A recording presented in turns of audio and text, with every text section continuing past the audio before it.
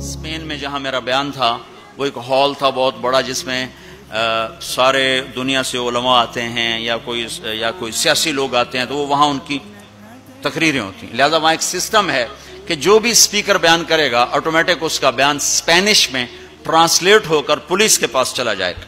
تو میں نے وہاں بیان کیا۔ تو رات کو لیٹ نائٹ ایک ساتھی ہے کہ جو جو چیف پولیس ہے یعنی ڈی آئی جی سمجھ لو وہ کہتا ہے کہ میں نے آپ کے اس عالم سے ملنا ہے، میں ان سے ملنا چاہتا ہوں۔ تو میں نے کہا ٹھیک ہے، مل لیتے ہیں۔ تو دو دن کے بعد ہماری ملاقات ہوئی۔ وہ کہنے لگا کہ جو باتیں آپ نے کی ہیں، ہم نے کبھی زندگی میں سنی نہیں۔ ہمارے پاس تو ہر چیز آتی ہے۔ آپ نے اسلام پیش کیا ہے۔ آپ نے انسانیت کو پیش کیا ہے۔ یہ ایک غیر مسلم کہہ رہا ہے، غیر مسلم۔ کہ اگر ہر آنے والا اسکالر ایسے ہی بولے جیسے آپ بولے ہیں تو ساری دنیا میں امن قائم ہو جائے گا۔ میں آپ سے درخواست کرتا ہوں، آپ سال میں دو دفعہ اسپین آیا کریں۔ دو دفعہ۔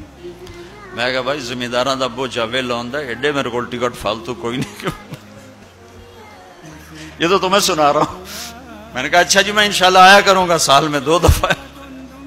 کب سال میں دو دفعہ آئے آپ کی باتوں کی صرف مسلمانوں کو ضرورت نہیں ہے ہماری قوم کو بھی ضرورت ہے جو باتیں آپ نے کی۔ تو میں نے کیا بیان کیا اخلاق یہ جو آپ سے بیان, بیان کر رہا ہوں۔ عبادات تو وہ سمجھتے نہیں میں نے نماز کی بات کیوں نہیں کیا خبر؟ لیکن جب میں اخلاق کو بولا ماں کے ساتھ کیا کرنا ہے بیوی کے ساتھ کیا کرنا ہے باپ کے ساتھ بہن کے ساتھ بھائیوں کے ساتھ بچوں کے ساتھ پڑوسیوں کے ساتھ تو وہ ہل کے رہ گئے۔ پونا گھنٹہ میرے پاس بیٹھا ہے۔ تو میں نے ساتھیوں سے کہا کہ چھوٹے چھوٹے گفٹ لانا ان کو دیں گے۔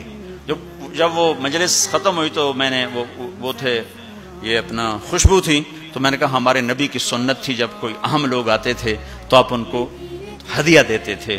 تو میں اپنے نبی کی سنت میں آپ کو یہ گفٹ کرتا ہوں۔ تو تینوں کھڑے ہو۔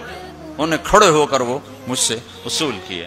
اور پھر جب وہ گئے تو مجھے میرے سامنے نہیں، دوسرے سے کہا کہ ہم اور بھی مسلم سکالر سے ملے ہیں۔ ہمیں کسی نے اتنی عزت نہیں دی جتنی آپ کے اس ساتھی نے دی ہے۔ تبلیغ والوں نے ہمیں سکھایا کہ سب کو عزت